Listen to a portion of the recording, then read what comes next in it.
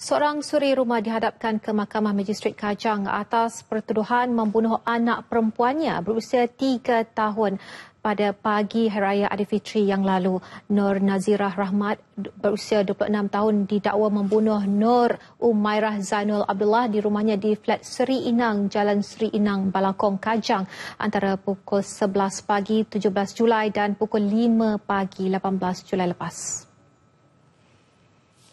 mengalirkan air mata ketika di kandang tertuduh mengangguk faham selepas pertuduhan dibacakan di hadapan Magistrate Abdul Jalil Salam Muhammad namun tiada sebarang pengakuan direkodkan. Tertuduh didakwa mengikut Seksyen 302 Kanun Keseksaan yang membawa hukuman mati mandatori jika sabit kesalahan. Mahkamah menetapkan 23 September depan untuk sebutan semula kes sementara menunggu bedah siasat dan laporan perubatan. Pendakwaan dibuat oleh Timbalan Pendakwa Raya S. Abirami manakala tertuduh tidak diwakili peguam.